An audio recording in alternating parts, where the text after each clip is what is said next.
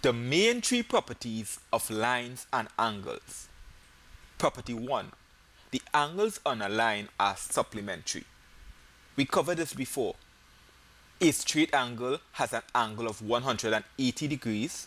So however it is divided, the sum of all the divisions add back to 180 degrees. Property 2. When two lines intersect, the opposite angles are equal. What do I mean by opposite angles? Here, angle A and angle C are opposite, and angle B and angle D are opposite. This property builds on the first. Consider these two lines that intersect. We are given that this angle is equal to 35 degrees. From what we learned in the first property of lines and angles, if we ignore the bottom part of this line for a second, we can calculate the size of this angle. We know that both angles add to 180 degrees.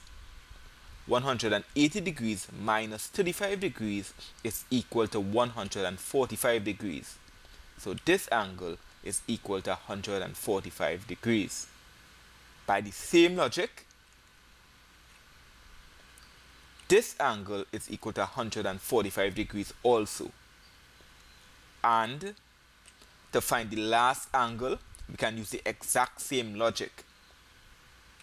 We can also draw upon our powers of memory and recall that there are 360 degrees in a complete turn or rotation.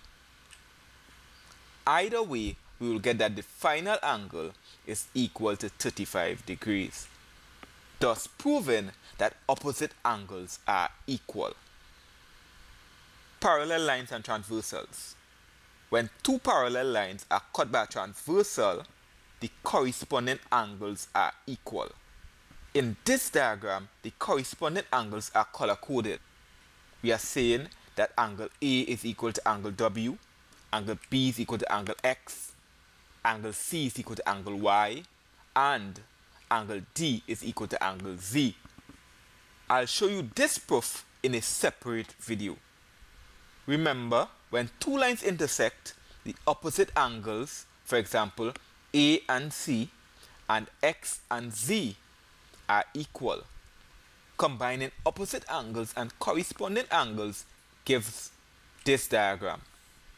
We see that angles A, C, W, and Y all have the same size and angle B, D, X and Z have the same size.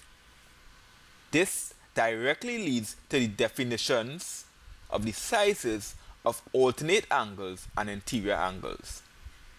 Alternate angles are equal. What are alternate angles? When two parallel lines are cut by a transversal, alternate angles are on the inside of the parallel lines but on opposite sides of the transversal. Thus, C and W are alternate angles, D and X are also alternate angles. Based on what we learned before, it is clear that alternate angles are equal. D is equal to X and angle C is equal to angle W.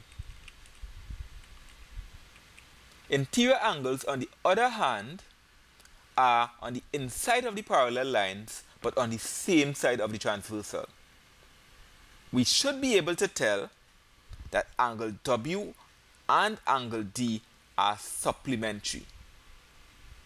Similarly, angle C and angle X are also supplementary. Interior angles are supplementary. We can use these rules to solve problems. Let's go through a few examples.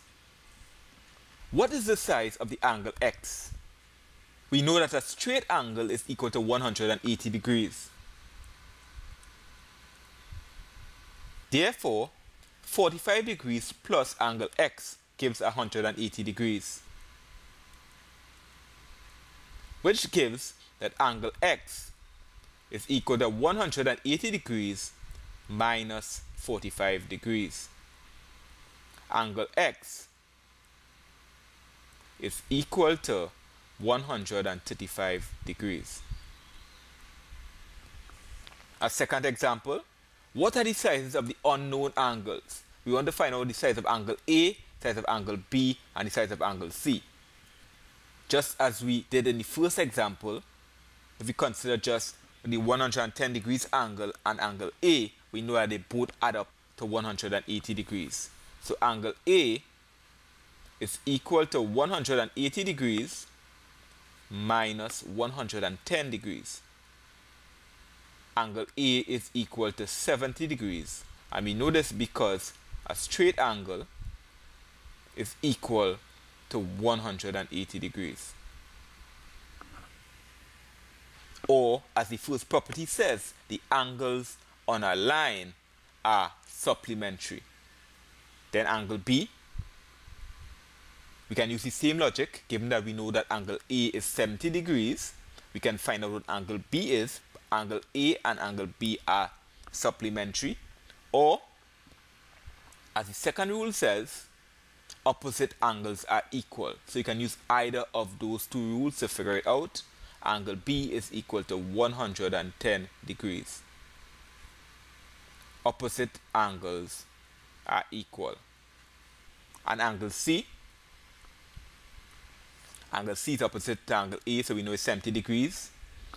Angle C added to angle B, or angle C added to 110 degrees will give you 180, so we know that angle C is equal to 180 minus 110 is equal to 70 degrees.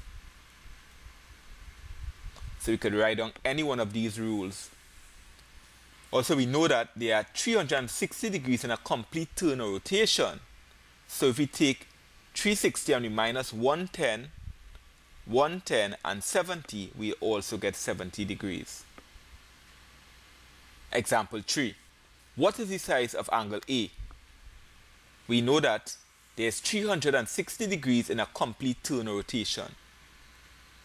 Therefore, angle A is equal to 360 degrees minus 160 degrees minus 65 degrees.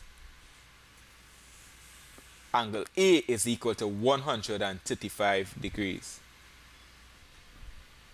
Example 4. What is the size of angle X? Any of the rules would lead us towards the answer.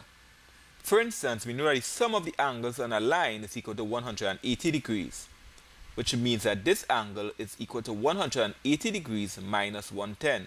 This angle is equal to 70 degrees. Combining that with our knowledge that corresponding angles are equal, we will get that angle x is equal to 70 degrees as well. Conversely, we could have used corresponding angles being equal to know that this angle here is 110 degrees. 110 plus 70 would give 180, given that x is equal to 70 degrees. Also, we could have used the fact that alternate angles are equal. 110 gives this angle here as 110, and we know that 110 plus x is equal to 180, given x is equal to 70 degrees. So we know that x is equal to 70 degrees using any one of the methods I identified a minute ago. Example 5. What are the sizes of the unknown angles? We have two parallel lines. It's cut by this transversal here and it's cut by another transversal. So we can use either one to find the answers we're looking for. Considering these two parallel lines cut by this transversal, angle A and angle 45 degrees are alternate angles we know that alternate angles are equal. So we know that angle A is equal to 45 degrees. Alternate angles are equal. And angle B, considering the two parallel lines and this transversal, we see that angle B and angle 75 degrees are corresponding angles we know that corresponding angles are equal. So angle B is equal to 75 degrees. Corresponding angles are equal. I am Mr. Dubé. Remember, to get the most out of my channel, please view the videos in order using the playlist. If you found this video useful, please like this video. If you are new to this channel, please subscribe. Join me in the next video.